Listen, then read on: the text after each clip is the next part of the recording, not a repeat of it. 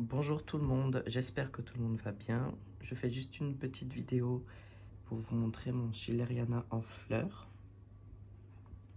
Là j'ai trois belles fleurs. Quatrième bouton à griller. La plante est juste derrière.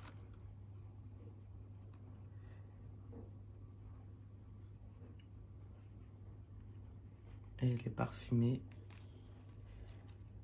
elles sont un peu citronnées comme les boîtes senteurs. Malheureusement, ces fleurs-là, elles durent pas longtemps. Une semaine, voire deux semaines. Mais elles fanent vite.